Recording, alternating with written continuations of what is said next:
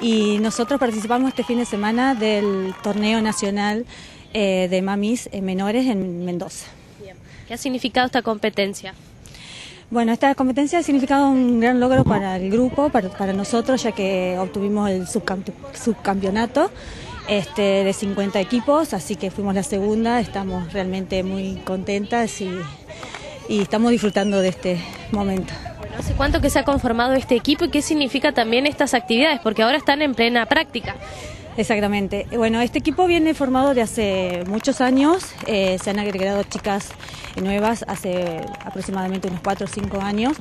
Este, y bueno, eh, eh, nos vamos preparando como podemos porque realmente los torneos nacionales este, implica trabajar mucho en sintético, las canchas y acá hay pocas, así que lo vamos haciendo como podemos.